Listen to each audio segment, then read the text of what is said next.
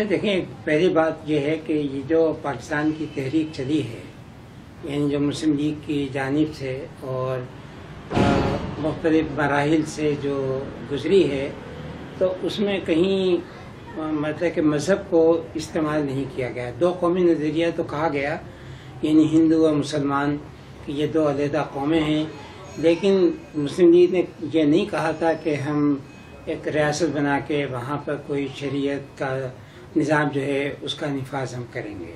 तो ये, लेकिन है ये कि जब आप ये बात करते हैं कि हिंदू और मुसलमान दो कौमें हैं तो और ज़ाहिर है कि जब आप इन दोनों कौमों को मज़हब की बुनियाद पे आप तकसीम करते हैं तो फिर लाजमी तौर पे मज़हब जो है, वो उसके अंदर आ जाता है।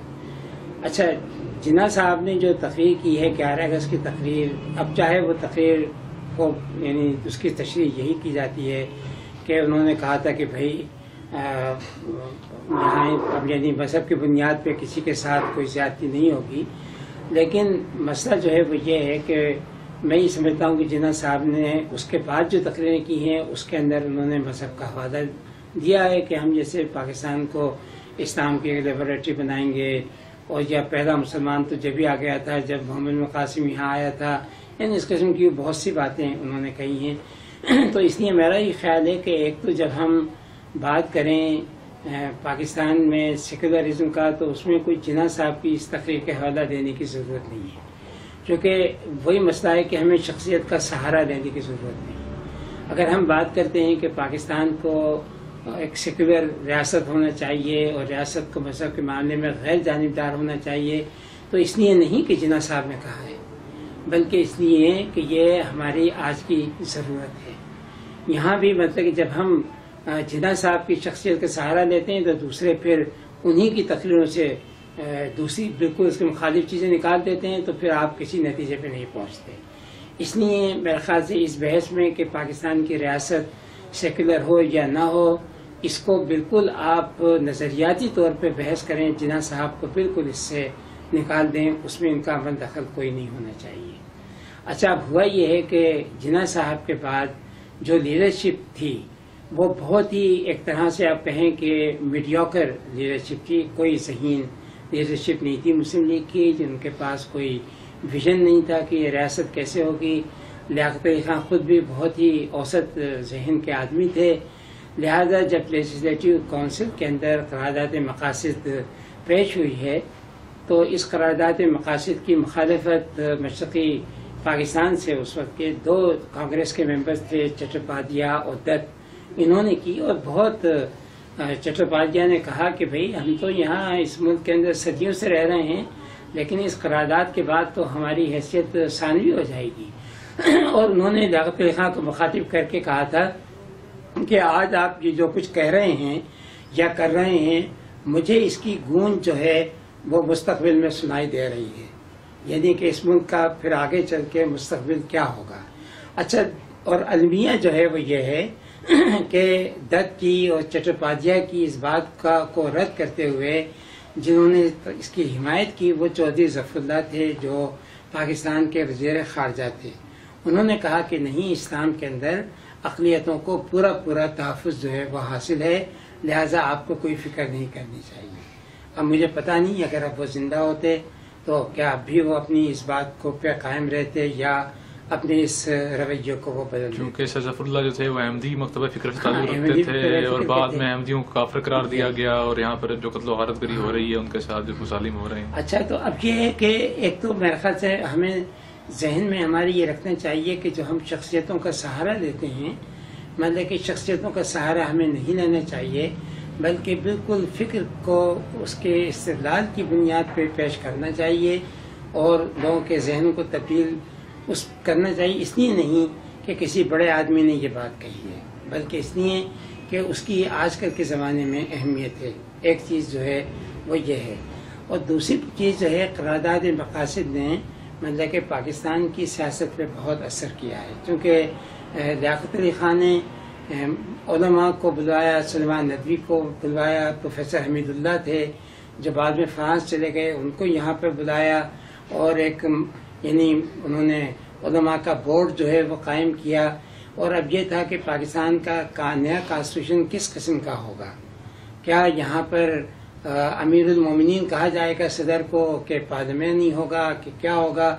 ये बहस जो चली है और कॉन्स्टिट्यूशन जो फौरी तौर पे नहीं बना, उसकी वजह जो थी वो यही थी कि इनके जहन में कोई वाज शक्ल जो थी वो नहीं थी कि पाकिस्तान की रियासत को क्या होना चाहिए।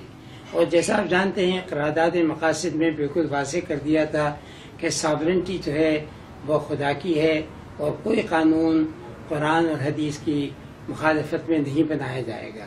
अब ये दोनों बातें जमहूरीत के खिलाफ हैं, जो कि जमहूरियत में इकतार आला आवाम के पास होता है और कानून बनाने का हक जो है वो भी पार्लियामेंट को अब इसमें एक जो बहुत बड़ा सवाल है कि खुदा के कानून खुदा की मर्ज़ी के बगैर जो है वो कोई कानून नाफिज नहीं किया जाएगा। तो कुरान और हदीस की। कुरान और हदीस की रोशनी से। हाँ। तो इसमें फिर सवाल ये भी पैदा नहीं होता कि ये कौन बताएगा कि कुरान और हदीस की तशरी किस को नाफिज करें? हाँ, यहाँ पर जिसके पास ये सबसे बड़ी बंदूक है वो बता रहा है कि हमारा इस्लाम तालिबान जो बताते हैं वो भी इस्लाम की बात करते हैं क्योंकि वो बंदूक है तो उसको नाफिज भी कर सकते हैं।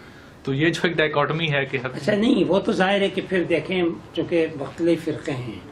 अच्छा हर फ़िरक़े क्या अपनी तशरी जो है वो अलहदा है? तो ये तो फिर लेकिन ये जो बात करते थे इनके जहन में तो ये था कि चूँकि सुन्नी अक्सरियत के अंदर हैं लिहाजा सुन्नी अकीदे के तहत जो है तशरी मतलब होगी। ये जहन में उनके था। दूसरे जो मजहबी फ़िरक़े हैं उनको उन्होंने नज़रअंदाज कर दिया था। अच्छा अब ये ज़ाहिर है कि उसके बाद हमारा पूरा दस्तूर जो बने हैं, वो सब पे इसकी छाप जो है नज़र आती है। लेकिन मैं समझता हूँ, जो एक इनकलाबी फिर जो तब्दीली आई पाकिस्तानी रियासत के ढांचे के अंदर, वो तब्दीली आई है पीपल्स पार्टी के ज़माने में, जब भुट्टो साहब ने इस्लाम को रियासत का मसहब बनाया। क्योंकि अब तो आपने एक तरह से तयन कर लिया ना कि रियासत का मसहब इस्लाम होगा अच्छा जब इस्लाम होगा तो ज़ाहिर ये भी तयन कर दिया कि अब यहाँ पर शरीयत का नफाज जो है वो भी होगा। और उसके लिए उन्होंने जो वक्ती तौर के ऊपर लोगों को मुतासर करने के लिए जो इकदाम किए, आपको पता है ना कि इमाम काबा को भी यहाँ बुलाया, लोगों ने उनके पीछे नमाजें पढ़ी, खान काबा का खिलाफ भी तैयार हुआ, उसकी ज्यारत भी कराई गई। यानी लोगों को जज्बाती तौर पर यानी मजहबी, मज़हब के अंदर शमूलियत को दावत देना और लोगों को शामिल करना, इस मामले के अंदर पीपल्स पार्टी का बहुत बड़ा मतलब के हाथ रहा है। और ये जो निसाब में इस्लामियात और पाकिस्तान स्टडी हैं, ये भी पीपल्स पार्टी के ज़माने में ही ऑर्डिनेंस पास हुआ था। और दिलचस्प बात जो है वो ये है कि जब ये पार्लियामेंट में पेश हुआ तो इसकी मुखालफत उस वक्त जमात इस्लामी की जानब से सख्त हुई थी। क्योंकि जमात इस्लामी का ये ख्याल था कि शायद ये इन मजामी के ज़रिए कोई लिबरल किस्म के यानी ख्याल को पेश कर देंगे। लेकिन ज़ाहिर है कि अमली तौर पर ऐसा नहीं हुआ। इनको जब जियाउल के ज़माने में बाकायदा पढ़ाया गया तो आप देखते हैं कि बिल्कुल हमारा तालीमी निसाब जो है वह बदल के रख दिया गया। तो जियाउल ने जो इस्लामाइजेशन का अमल जो शुरू किया है, एक तरह से उसकी इब्तदा जो है वो लियात खान से शुरू हो चुकी थी। जियाउल के ज़माने में वो अपने उरूज पे पहुँची, उसने इसको तालीम से लेकर ज़िंदगी के हर शोबे के अंदर उसने इसको मतलब के शामिल किया और दस्तूर को भी उसने तरमी तरमीम के ज़रिए इस कदर बदला कि 73 का दस्तूर जो है उसकी शक्ल बदल कर रह गई। तो उसके बाद से जो भी तरामीम की गई हैं और जो भी इस्लामाइजेशन का अमल हुआ है, अब यानी किसी हुक्मरान की ये हिम्मत नहीं है कि उनको किसी भी तरीके से दस्तूर से निकाले। और जो तिहत्तर का भी, हालाँकि उसके अंदर भी बहुत इस्लामी दफ़ा थे। यानी उन्हीं को रहने दे, अब ये चीज़ आगे बढ़ती चली जा रही है और जो भी हुक्मरान चले आते हैं, वो कोशिश ये करते हैं कि आवाम की खुशनुदी के लिए ज़्यादा से ज़्यादा मतलब के मज़हब को इस्तेमाल करें। जैसे नवाज़ शरीफ ने जब ये पहले आए तो शरीयत बिल इन्होंने मतलब के पेश किया और तोहन रसालत में सजाए मौत का इजाफा जो है वो इन्होंने कराया। और अभी भी मेरा ख्याल से इनकी हमदर्दियाँ जो हैं, वो भी अभी भी तालिबान के, एक तरह से तालिबान के साथ हैं। और ये बात तो बिल्कुल अपनी जगह सही है कि एक मरतबा जब आप ये कह दें कि ये रियासत इस्लाम के लिए बनी है तो ज़ाहिर है कि फिर वो लोग जो ये दावा करते हैं कि हम सही इस्लाम का निफाज करेंगे, वो कहते हैं कि हमें मतलब कि ये मौका मिलना चाहिए।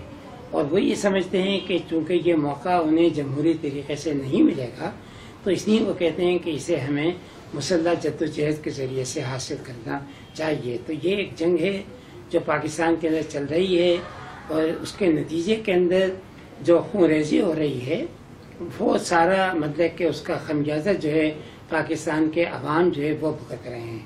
क्योंकि तारीख में होता यह है कि गलतियाँ जो है गुमराह करते हैं, मगर उन गलतियों की सज़ा जो है वो आवाम को देना पड़ती है और आवाम ये गलतियाँ जो हैं जो भी हुक्मरानों ने की है, उसकी बहुत बड़ी कीमत जो है अब तक चुका चुके हैं।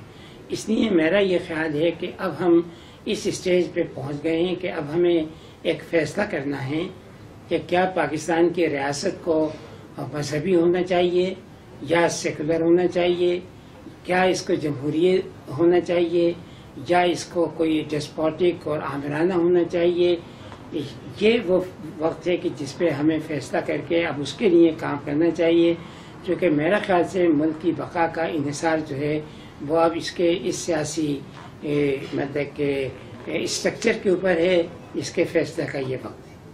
सही। और अगर ये फैसला ना किया गया और हम अगर ये फैसला ना किया गया तो ज़ाहिर है कि उस सूरत के अंदर मतलब के फसादात होंगे। मतलब के झगड़े होंगे, मस्जिद खुरेजी होगी, कत्ल गारत करी होगी। शायद, मैं ये नहीं कहता कि मुल्क टूटेगा, शायद मुल्क तो चलता रहे, लेकिन एक क्वालिटी ऑफ़ लाइफ जो होती है, वो नहीं रहेगी। और जिसको हम कहते हैं कि वाल आर्ट्स और माफिया जो हैं, वो पैदा हो जाएँगी, जिसके पास ताकत और कुत होगी, वो अपनी अपनी जमातें कायम करके इस मुल्क के अंदर लूटमार भी करेगा, इस मुल्क पे हुकूमत भी करेगा। और इस मुल्क के अंदर रियासत जो है वो एक तरह से बिल्कुल ख़त्म हो जाएगी। तकरीबन रियासत तो इस वक्त भी ख़त्म है। उसका तो मुसल्ला जत्थे मौजूद है मज़हब के नाम पर जो खून रेसी कर रहे हैं जो कत्ल फारत करी कर रहे हैं। अच्छा आप जो मज़हब के नाम पर कर रहे हैं अगर ज़ाहिर के रियासत खुद कमज़ोर हो जाती है और इनको कोई रोकने वाला नहीं होता तो ये और ज़्यादा खून रेसी करेंगे। ज़ाहिर है कि इनको जब कोई रोकने वाला नहीं होगा तो ये कोशिश करेंगे कि रियासत पे कब्जा भी करें। और रियासत पे कब्जा करके अपने पसंद का शरीयत निज़ाम जो है वो भी कायम करें। इस किस्म के मतलब के इम्कान बिल्कुल हो सकते हैं, अगरचे इस किस्म का इम्कान है नहीं। लेकिन हम कहते हैं कि शायद हो, लेकिन ये इसी सूरत में चूँकि हमारी रियासत कमज़ोर हो चुकी है, रियासत के इदारे कमज़ोर हो चुके हैं, जो एक कानून की बालादस्ती होनी चाहिए, वो नहीं रही है। और सिर्फ़ अब तालिबान की बात नहीं है क्योंकि हमारे माशरे में जराइम की माफिया जो हैं, वो भी अपनी पूरी कुत और तोानाई के साथ आ गई हैं।